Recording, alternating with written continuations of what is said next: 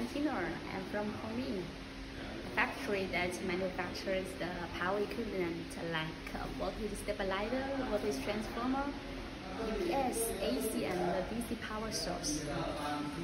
I'm mainly responsible for the international sales and also follow up some customer service and technical support. The other day I was get a phone call that a customer uh, is an old customer from the tech industry and uh, he purchased the voltage stabilizer since 2017. It was been working steadily over the past seven years. Um, now he said that the coil was burned out. Let's go to take a look at this old frame and see how it is doing now. Go.